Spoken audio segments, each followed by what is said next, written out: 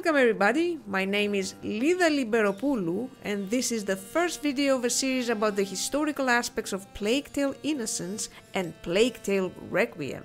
The game developers have mentioned in interviews and promotional materials that they've done a lot of research on its 14th century historical backdrop. So, if we put aside the many, many, many fantastical elements and creative narrative twists, how precise is the representation of historical facts in these games? As always, there will be major spoilers. You have been warned. Okay, let's go.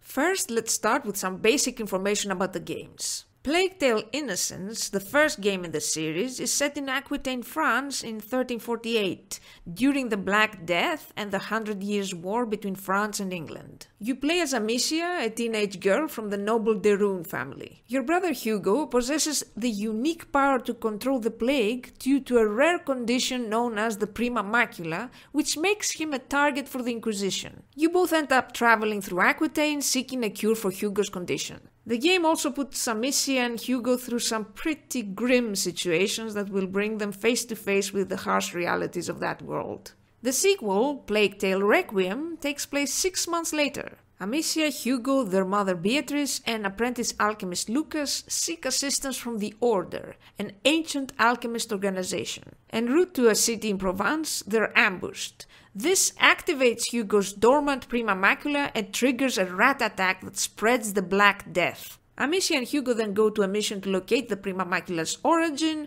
to find a lasting cure for Hugo. Both Innocence and Requiem draw their settings and events from real world history. Innocence incorporates more of these elements in the story, while in Requiem, the real world elements become generalized as the story moves further towards the fantastical and supernatural. By the end of Requiem, entire segments like the Egg Nest and the city of Marseille transform into surreal landscapes right out of H.R. Giger's Necronomicon. But despite their uneven approach to real world history, both games are based on actual events and locations. So let's examine first the events. Number 1 The Black Death. This is the main setting of the game. I mean, it's in the title, Plague Tale. It refers to the deadliest pandemic in human history. It occurred between 1346 and 1353 and killed up to 200 million people in Asia, Europe, and Africa. In Europe, it killed something like 30 to 60% of the population and caused a huge economic and societal collapse. In the games, the plague is represented by the endless swarm of infected rats. They can kill and strip a human being of its flesh in seconds, and they can also build massive nests from the corpses of their victims. They can also form rat tornadoes or massive swarms that can literally flood an area and have a collective memory and intelligence. There's also the concept of the prima macula, the ancient blood curse that allows its carrier to form a supernatural bond with the infected rats. I hope that it's pretty obvious that this representation of the plague is clearly symbolic and fantastical. Although the black rat is often associated with the plague, technically it was the fleas infesting them that were responsible for the disease transmission to humans. Because of the filth, these things were everywhere in medieval towns and villages, and it wasn't unusual for them to feed on decaying corpses. However, there's no historical evidence of swarms of rats attacking humans during the Black Death. But uh, what about the plague's impact on the population? When Amicia and Hugo go through the village at the beginning of Innocence, it mostly appears abandoned. When they get to the village square, they stumble upon a mob burning people at the stake. The villagers see them and they immediately accuse them of bringing the plague. This is not far off from what actually happened. The plague hit most places so severely they lost more than half of their population. Also, it was common to blame and attack outsiders, usually travelers or the local Jewish population, as the ones bringing the plague with them. On the alchemist Laurentius and on a lot of the dead bodies, we see the symptoms of the plague up close. These symptoms correspond to the swollen lymph nodes or buboes you would see on a plague victim. They can appear on the neck and face and all over the body, but uh, they are more commonly found around the groin or bubonic area, hence the name buboes and bubonic plague. In the segment where Amicia is trying to get to the university, we see the city being evacuated. This did not happen at least in an organized manner as we see it here, although there were cases where the nobility and upper class citizens would leave the city for the countryside.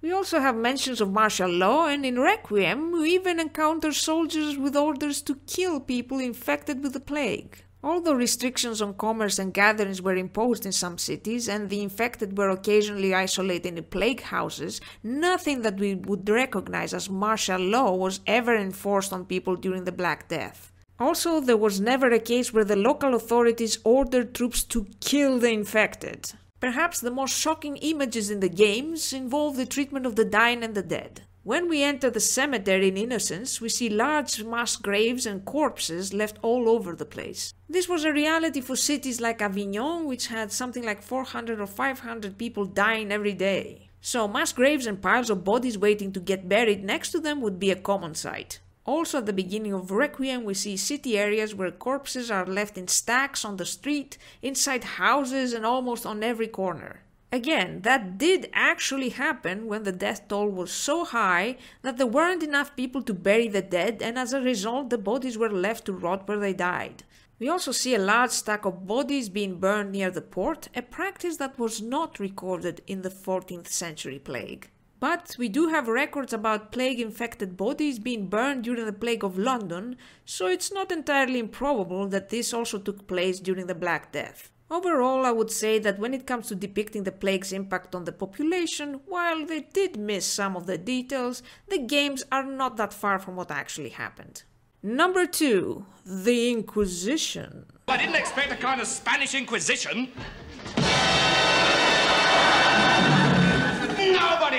The Spanish Inquisition. Well, I had to make that joke. I mean, it's mandatory at this point.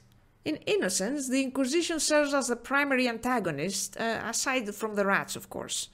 So, how close is the game's Inquisition to the actual medieval Inquisition of the 14th century?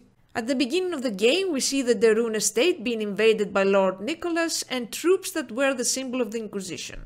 They proceed to murder everyone, including Amicia's father, who is a member of the local nobility. Also, the game depicts the city being evacuated and being effectively under the control of the Inquisition forces. We learn that Lord Nicholas is the commander of the Inquisition and that its leader is Grand Inquisitor Palpatine Vitalis, who wants Hugo so he can cure himself of the plague and gain control over the plague infected rats. They even have a vast bastion as their base, which enables them to perform alchemical experiments on human subjects. All this, of course, has very, very little to do with the medieval Inquisition or even the later Spanish and Roman Inquisitions. The medieval Inquisition was formed in the late 12th century to stop heretical sects like the Cathars in France. They were Dominican monks that answered directly to the Pope and they didn't have any Grand Inquisitor to rule over them. This title was established by the Spanish Inquisition more than 200 years later. They also didn't have a large army at their command, unique standards and symbols, or a fixed base of operation. They traveled with a small entourage of scribes and assistants. They would go to a town where there was report of heresy, and they would first offer an edict of grace, which was 30 days for people to voluntarily confess their heretical beliefs. After the grace period ended, they would interview witnesses, gather evidence, and interrogate accused individuals. Torture was used rarely and only if the accused didn't cooperate. Then the accused would be put on trial, and if they were found guilty, they would be punished by having to perform public penance or pay a fine. Sometimes the punishment was imprisonment or execution, but this was done by the secular authorities, not the inquisitor. And basically, that's it. That is what the medieval Inquisition was all about. Also, the inquisitor wouldn't be allowed to continue their work or receive the support of his subordinates if they would get excommunicated by the Pope. So, when it comes to the depiction of the Inquisition, the game goes way off the historically accurate path. Number 3 The Hundred Years' War. This is another main historical point about the setting of Innocence and Requiem. The Hundred Years' War took place between England and France from 1337 to 1453 over a span of 116 years. It ended with France taking all the English controlled territory and solidifying the power of the French monarchy. In Innocence, the war appears in the form of the battlefield where Amicia and Hugo have to cross to get to the castle, and when they get captured by the English troops. The battlefield is filled with thousands of corpses of French and English soldiers, and it looks more or less like uh, what the aftermath of a major medieval battle would look like. But uh, which battle is this? Well, this is supposed to be Aquitaine, so were there any major battles around this area? Yeah, mainly the Battle of Poitiers and the Battle of Castillon, which ended the rule of the English in Aquitaine. But remember, the game takes place in 1348, and both of these battles happened long after that. On the battlefield, there's also siege equipment, and there is a clear view of the castle in the distance, so this was probably a siege battle. But again, the last major siege in Aquitaine, the siege of Aiguillon, happened in 1346, two years before the events of Innocence. Also, after crossing the battlefield, Amicia and Hugo end up prisoners in an English military camp. But here's the thing unlike the Romans who built fortresses for their legions, medieval armies did not build permanent encampments.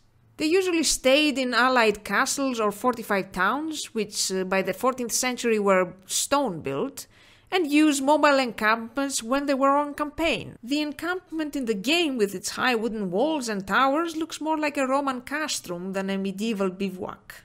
In any case, the closest English military campaign was that of Crécy, which ended with the Battle of Calais in 1347. So, if there wasn't an English campaign happening during the events of the game, then how can we have this huge English encampment and recent remains of a massive battle here? Well, there wasn't a battle, and there could not be a battle here. In fact, it would take another two years before any battle of significance was fought in France, and that is because we are in the middle of the Black Death. Remember that little detail? You know, the deadliest plague in history, wreaking havoc and killing half of Europe's population.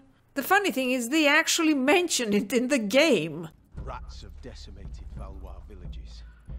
Thousands of deaths have been reported from bites or contagion.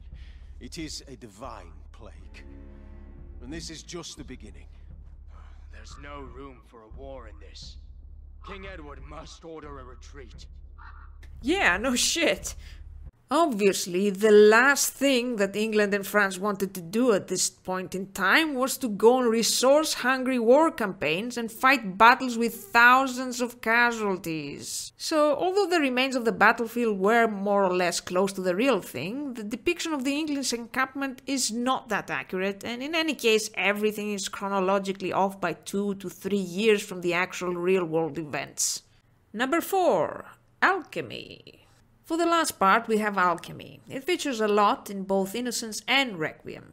Beatrice, Hugo's and Amicia's mother, is an alchemist. Lucas is an alchemist's apprentice. The Sanguinis Itinera. The book that contains the elixir that can slow down Hugo's affliction is an alchemical book. Vitalis has a massive alchemy laboratory and an army of alchemists working on his experiments on Hugo and the plague rats. Also in Requiem, we also have the constant presence of the Order, an ancient organization that has been researching the plague and the prima macula since the time of Justinian. Although alchemists usually had to work in secrecy for fear of being called heretics, it's unlikely that there were any vast, powerful secret alchemy orders operating for centuries.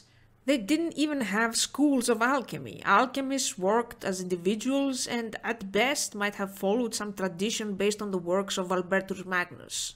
Also, I hope I don't need to explain further that a high ranking official of the church having an industrial sized alchemy laboratory where human experiments are conducted en masse was not a thing that actually happened. So, when it comes to real world historical events, the games are kind of a mix between accurate information, narrative and game design conveniences, and false popular culture stereotypes, with the best researched element being the effects of the Black Plague.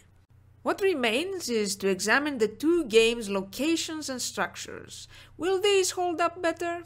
We'll find out in the second video of the series. Thank you for watching. I'm not sure if the next video I'll make is going to be on the second installment of the Plague Tale series or something completely different. We'll see how it goes. My channel focuses on history in video games.